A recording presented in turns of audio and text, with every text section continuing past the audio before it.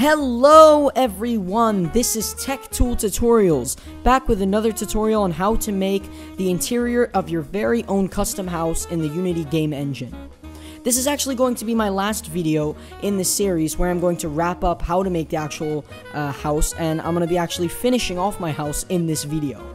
So, this is actually my uh, inspirational image, and as you can see, the actual outline of the house is reasonably close. I've made the windows and the door just right. But now what I'm going to do is I'm going to create the houses inside. And lastly, I'm going to also be uh, adding the interior and all of the textures.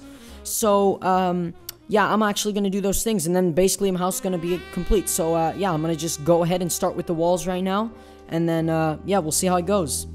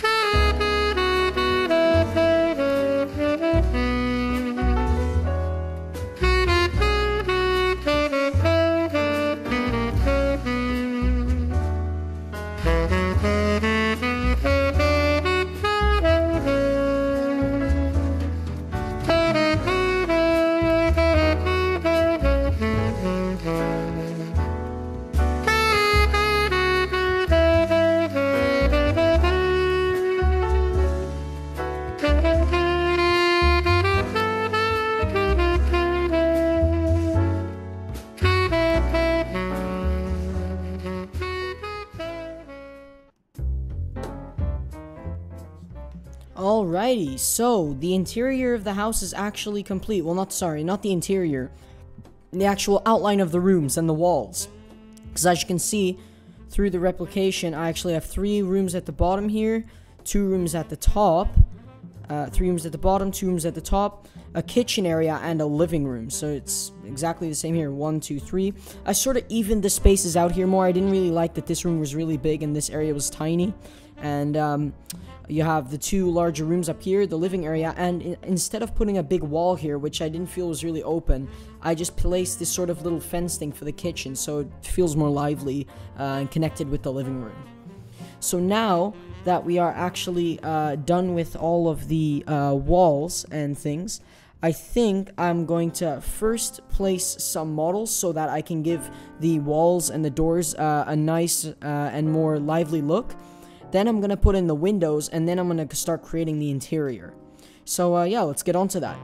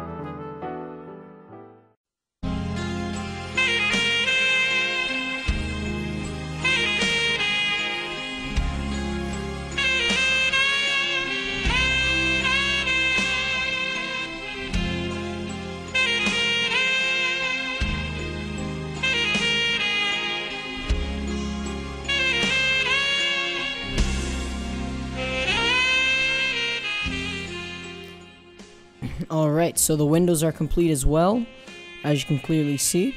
So now I will actually start working on the interior and I'm going to base it off of the rooms that are used within the photo. So as you can see, this is a bedroom, this is a bathroom, and I'm sort of going to be basing it off of that.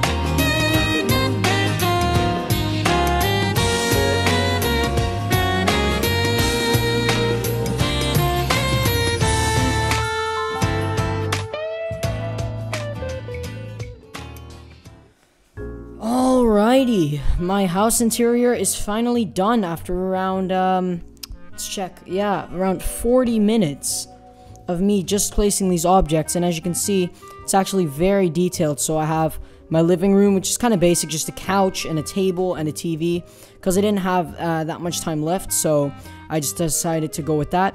Then you have the first bedroom, which has a bed, a nice TV for him to watch, some lights, a shelf, uh, and uh, another, uh, what do you call it, uh, clothing shelf and then a um, lamp on top, just as a little detail.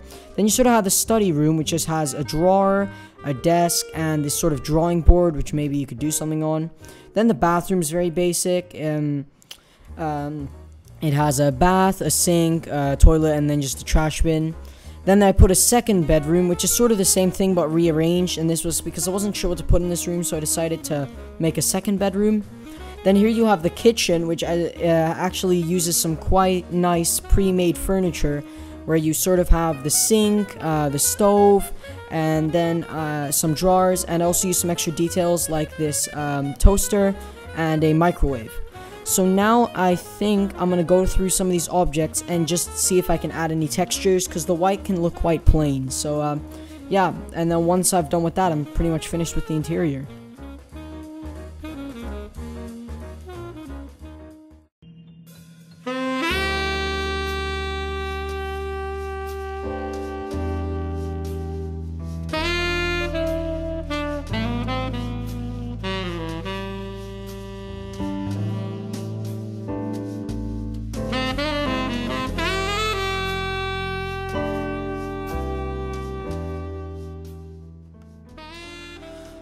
Alrighty, so I've added all the textures, and this is my finished house. This is officially the uh, finished house interior that I have.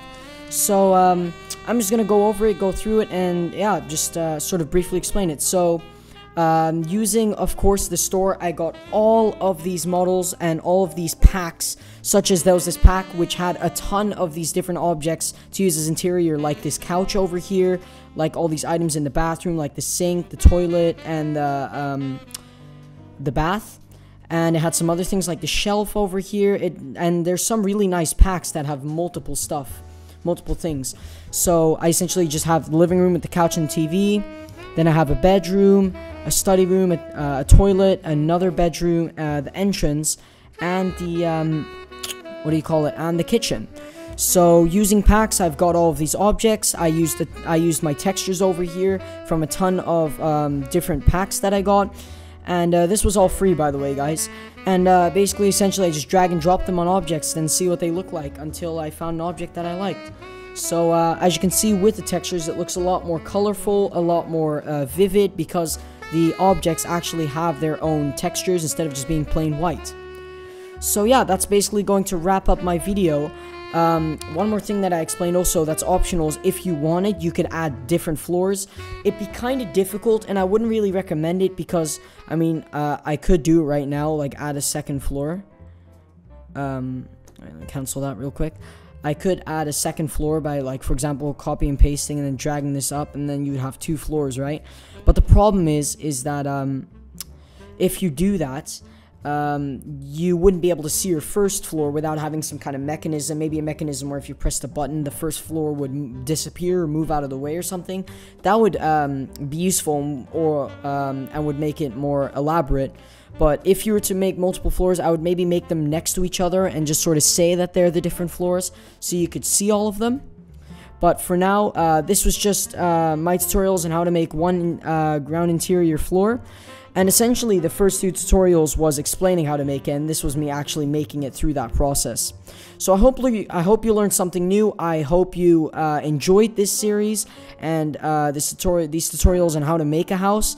And um, now uh, the tools are put into your hands. It's up to you now. Now it's for you to build your very own house and to use what I learned, what I taught you to um, make a house of your own. And uh, yeah, just be creative. Uh, this inspiration actually made it drastically easier because I actually had an outline. I knew what I was going to make. So I would highly recommend that you actually make a, um, uh, that you actually find a um, photo to use as inspiration. So yeah, I hope you learned something new and um, uh, I'll see you if uh, any other future tutorials uh, come up. So yep, have fun. Enjoy building. Bye-bye.